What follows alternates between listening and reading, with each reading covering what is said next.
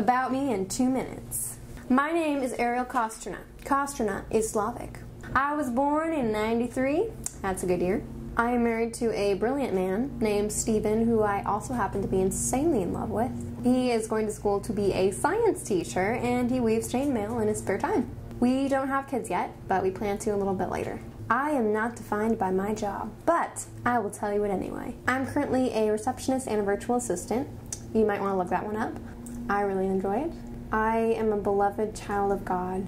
That's my ultimate identity. And he wrote me into an amazing story that I'm actually in the process of writing down to share with you all. I'm more or less an INFP.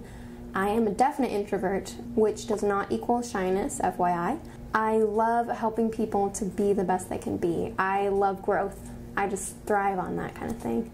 Besides writing, I am also passionate about music. I thoroughly enjoy singing and composing, no matter how I may sound. And I love musical theater, and I do play trombone on occasion.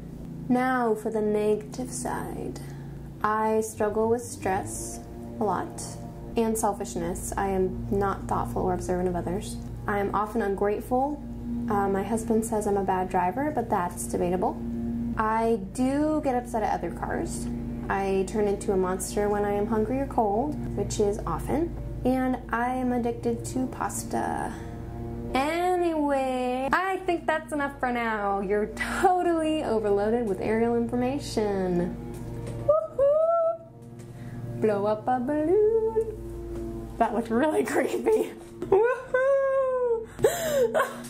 I do like to be silly sometimes, on occasion. Please leave a comment and tell me one or two things about yourself so we can be a little bit more even here. If you haven't already, click that lovely subscribe button.